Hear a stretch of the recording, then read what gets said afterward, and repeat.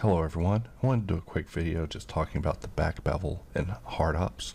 Uh, if you have the latest update that was released around the same time as Box Cutter by accessing the sales page, it should also be in yours as well.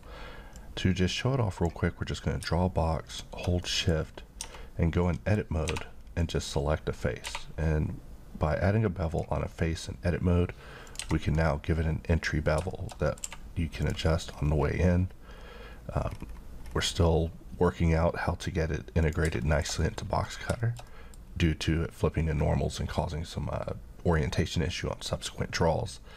But continuing on, we can also take the circle. And the reason that I'm showing it with box cutter is because box cutter just draws the shapes right on the surface. So it's just perfectly primed for a tool like this. So it always starts with one segment because once you start adding slopes, it begins to uh, you know, make the normals look a little strange. However, we can add a uh, weighted normal and that'll help things actually hold together.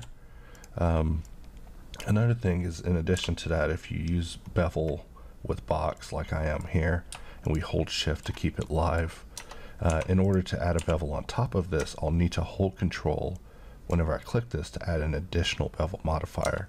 And now we have this shape that has a back bevel in addition to a bevel going around the sides. That was it. I just wanted to do a quick video uh, discussing this so that way um, I would be able to link users to it to give them more information. With that, I'll see you guys next time.